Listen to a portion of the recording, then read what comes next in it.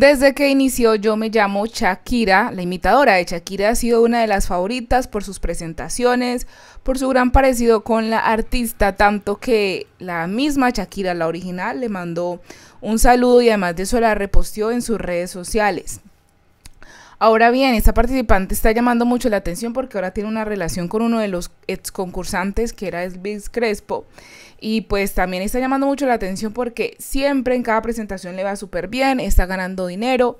Pero hay una polémica alrededor de esta artista. Muchos en Colombia son bastante territoriales, nacionalistas, patriotas. Y están diciendo que aunque es muy buena, no debería ganar porque ella no es colombiana, chilena y eso pues no está bien y que supuestamente esto sería un programa solo para colombianos, debería quedarse la plática aquí.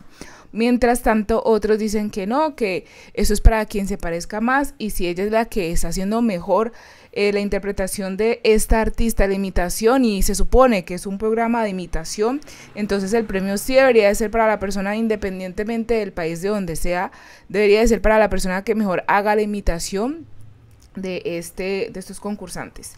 Yo quiero saber ustedes qué opinan de esto. ¿Les parece justo que venga una persona de otro lugar y se lleve un premio de los colombianos? ¿O les parece injusto? Déjenmelo saber en los comentarios.